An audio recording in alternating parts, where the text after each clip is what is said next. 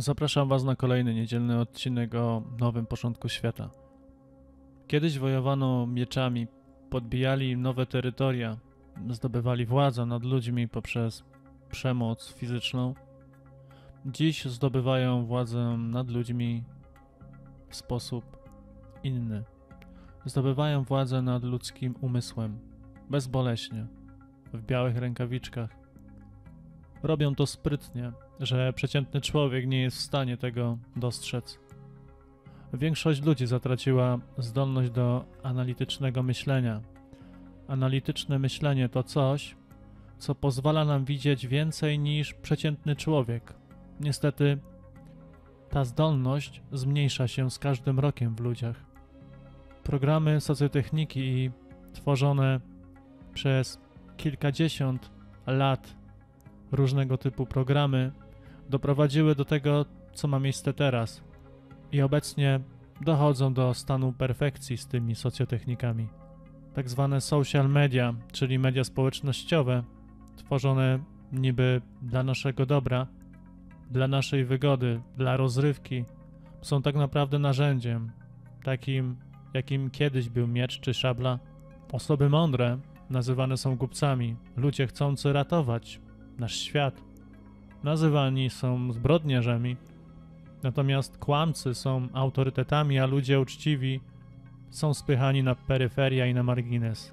To, co dzieje się teraz, to kolejny etap, drugi etap do zapanowania nad światem, nad ludźmi. Są trzy etapy, trzy etapy końcowe.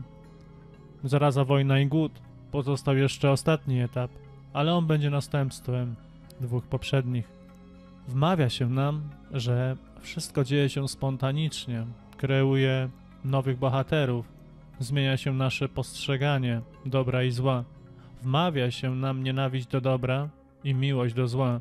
Przez ostatnie dwa lata, przez ostatnie kilka lat, przeprowadzili sobie testy na uległość ludzi wobec informacji, symulowali strach, ćwiczyli wpływ mediów na nasze życie codzienne. Najważniejszym krokiem była zmasowana propaganda wobec rzeczy, które w rzeczywistości były zupełnie inne.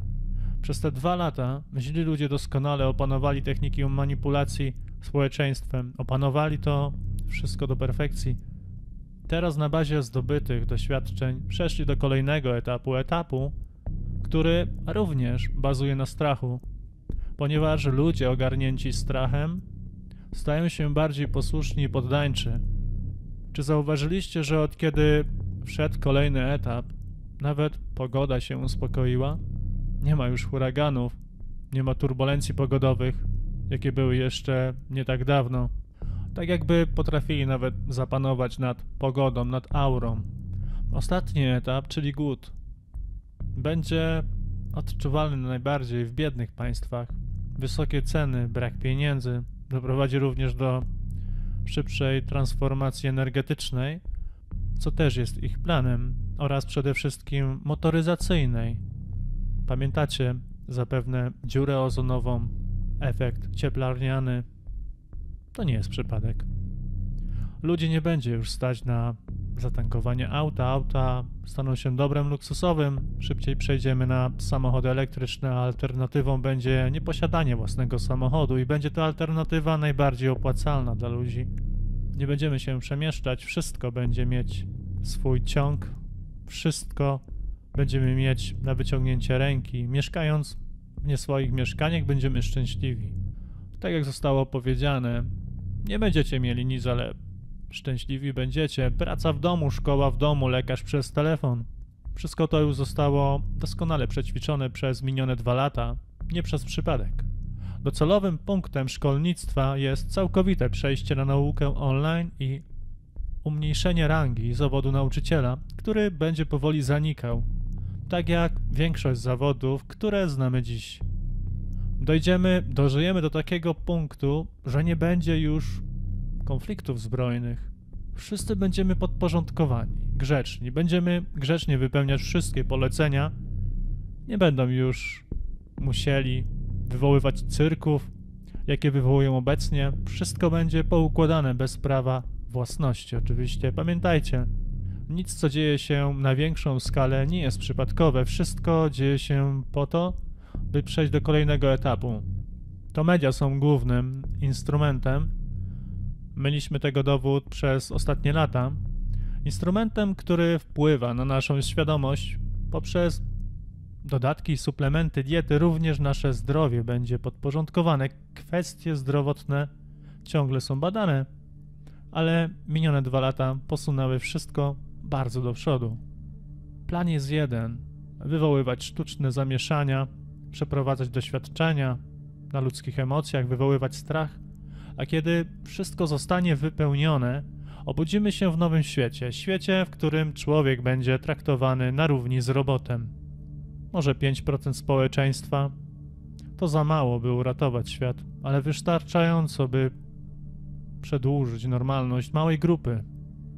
Dopóki te 5% jest, trzeba się wzmacniać, wspierać i trzymać razem. Ostatnie lata niestety obnażyły ludzi. Wiemy, jak łatwo uwierzyli. I te osoby, o których myślimy i o których wiemy, że jest tak, że to oni rządzą. No niestety, ci ludzie to są tylko marionetki. Rządzą osoby, które się nie pokazują, które nie potrzebują sławy. Tak naprawdę ster objęli ludzie, których my nie znamy, których nie widzimy. Widzimy jedynie wysłanników, którzy po prostu wykonują polecenia. Ale ten, kto naprawdę steruje, kieruje tym wszystkim, on jest nieznany nam. I teraz pytanie, kim on może być? Tutaj możecie sobie insynuować, możecie strzelać w ciemno. Kto? Możecie zgadywać? Ja nie wiem. Też się nad tym zastanawiam. Zastanawiam się od dłuższego czasu. Od kilku lat właściwie. Kto jest na samym szczycie? Kto planuje? Kto kieruje? Kto zatwierdza? Może kiedyś poznamy tę odpowiedź. Znają życie nigdy. Dziękuję Wam za uwagę. Napiszcie swoje opinie na ten temat. To taki odcinek dosyć generalny, o wszystkim, o tym, co nas otacza. Dosyć takim szybkim skrócie, żeby nie przedłużać. A w następnych odcinkach przejdziemy sobie do tych rzeczy, które poruszaliśmy wcześniej, czyli robotyka oraz różne geoinżynierie, które mają miejsce, które ja widzę osobiście każdego dnia. Nawet za pogodę się biorą, no. Biorą się za wszystko. Pozdrawiam. Trzymajcie się ciepło i do usłyszenia. Cześć, pa.